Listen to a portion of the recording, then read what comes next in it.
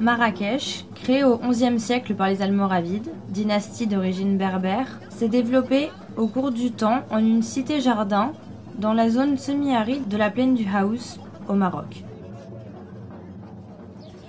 Afin d'alimenter la ville en eau potable et d'irriguer les cultures, les jardins et la palmeraie qu'ils ont entièrement créés, les Almoravides ont mis en place un système hydraulique original, les Ketara. À partir des contrebas de l'Atlas, un réseau de galeries souterraines drainait l'eau de la montagne vers Marrakech. Ces ouvrages sont toujours visibles à l'heure actuelle et dessinent le territoire. Environ tous les 50 mètres, on creusait un puits qui ne servait pas à puiser l'eau, mais à creuser ces galeries pour les connecter entre elles. Ensuite, les canaux souterrains débouchaient sur des bassins qui permettaient d'accumuler l'eau de la nappe ainsi captée, afin de mieux gérer l'irrigation.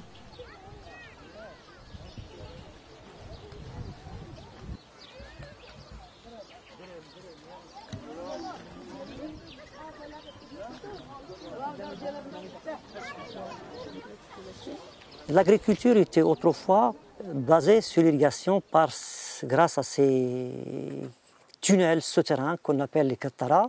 Le principe est très simple. Alors, un puits, c'est un fourrage vertical. Et vous avez besoin d'énergie pour extraire l'eau de la nappe. Ils voulaient extraire de l'eau de la nappe souterraine sans fournir de l'énergie. Ils ont donc trouvé une invention. Le forage n'est plus vertical, mais il est presque horizontal. Et le bout du tunnel, il perce la nappe. Et à l'aval, on va avoir une source artificielle qui va jaillir et on va avoir l'eau pérenne, à flot, toute l'année. Les puits connectés à ce tunnel ont été simplement creusés pour creuser le tunnel souterrain. Après le fonctionnement de la galerie souterraine, ils n'ont plus d'intérêt sauf un intérêt d'aération et ils facilitent l'accès pour l'entretien. Pour mieux gérer cette eau, on a euh, conçu des procédés d'accumulation, soit un bassin, soit une digue, Hein, il faut accumuler de l'eau parce que le débit de l'Akhtara est faible et il nous faut un, volume important pour pouvoir euh, gérer l'irrigation euh, d'un espace par exemple de 4 hectares ou de 10 hectares. Hein. La Kettara, c'est un mode de gestion traditionnel. Malheureusement, actuellement, elle tombe en désuétude. Ils, sont, ils ont été asséchés. Le tarissement de ces de ces sources-là, tout d'abord, c'était, le niveau de la nappe qui baissait c'est le développement économique, c'est le développement démographique, c'est les besoins qui ont augmenté en eau. Avec l'urbanisation croissante, l'augmentation de la population et le changement climatique, le niveau des nappes phréatiques a baissé. Les Kétaras ont progressivement été abandonnés au profit de systèmes d'irrigation adaptés au développement économique actuel. Néanmoins, elles marquent encore aujourd'hui le paysage urbain. L'Aktara, c'est un projet social. Il y a l'ouvrage, il y a la population, il y a le terrain, il y a beaucoup de choses.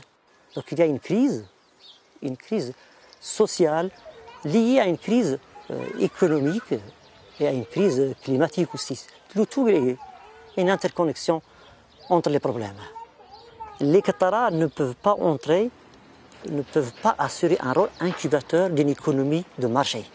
La population, donc, a euh, donc délaisser ce moyen d'irrigation car il n'est plus rentable.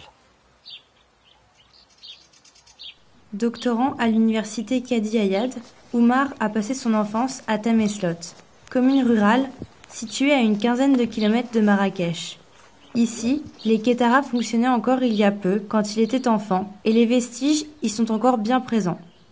Je suis originaire du village Tamslo, à 17 km de Marrakech. Ça fait longtemps, ça fait 10 ans ou 15 ans que j'étais là-bas avec mes amis.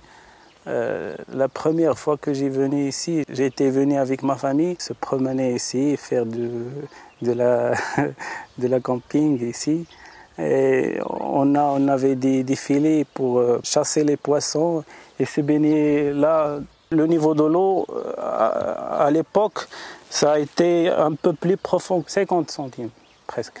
Le problème de sécheresse et le, problème de délaisser de, des, des c'est un gros problème pour les, les, nouvelles générations. Ils n'ont pas vécu le, fonctionnement de, ces, systèmes hydrauliques. Maternelle de, nos ancêtres. C'est malheureusement pour eux. On espère que l'État font des, des, efforts pour renouveler et réaménager le, ces sites-là. Les Ktara, maintenant, ils ne, sont plus en bonne équation avec le développement économique actuel. L'économie, maintenant, c'est une économie, une économie compétitive. Et la Ktara, on ne peut pas faire un marché compétitif avec. C'est un mode de gestion traditionnel. C'est pour une certaine population bien limitée. La Ktara, c'est l'œuvre d'une collectivité. C'est une population, c'est une approche participative. C'est une sorte de subsistance pour la population.